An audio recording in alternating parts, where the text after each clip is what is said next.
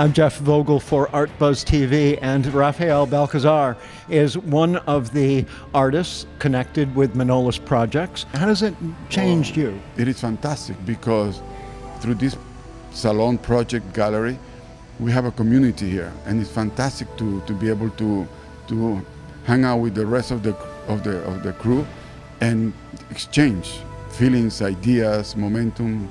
Describe your work to me. I photograph the ocean, and through the ocean, I try to capture movement. And through movement, I try to capture what is called time. Wow.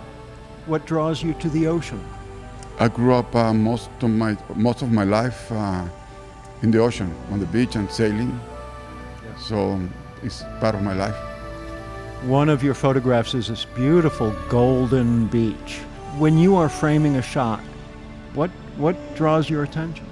I would say it's a momentum that catches the because the the the, the ocean is always moving, and for some reason I just wait for that moment in which I feel it. I'm not I'm not even looking. I'm feeling mostly. We are making here the most amazing place in Miami. It is fantastic community of fantastic artists, and welcome.